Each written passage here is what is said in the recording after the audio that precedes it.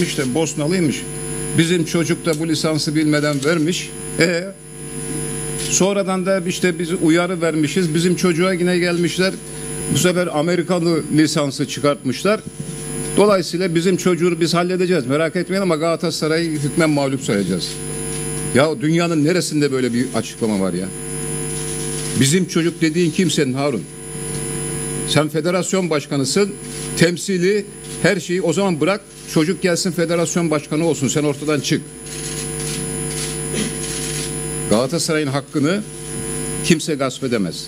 Kimse de yiyemez. Böyle basit açıklamalarla, böyle basit yorumlarla Galatasaray'ı kimse harcayamaz. Ben ve yönetimim bu manada çok kızgınız, çok Galatasaray'a yapılan haksızlığa isyan ediyorum ve federasyon başkanını yapamayacağı bir görevin altında daha fazla ezilmemesini kendisine tavsiye ediyorum. Sen bu işi bırak.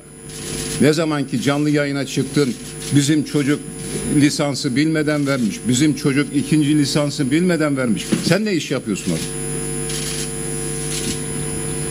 Büyük camiaların elbette savunma hakları vardır. Kimse Galatasaray'ın zerresine halel getiremez, zerresini hiçbir hakkını gasp edemez. Bir de kalkmış diyorsun ki efendim e, şey, biz siz mağlup şey yapalım. E, sonra ya biz e, Linetta'nın tazminatını veririz. Ya sen kimsin ya? Sen Galatasaray'ın bir üçlüğünün bedelini ödeyebilecek kendini o kudretle hissediyor musun? Şu kullandığın ifadelerin nasıl bir aymazlık, nasıl bir arsızlık olduğunu lütfen fark et. Sen kimsin Galatasaray'ın oyuncusunun tazminatını verecekmiş de efendim maaşını biz ödeyelim de Galatasaray e, bu işte şey yapmasın. Hani telafi cihetine gidiyor.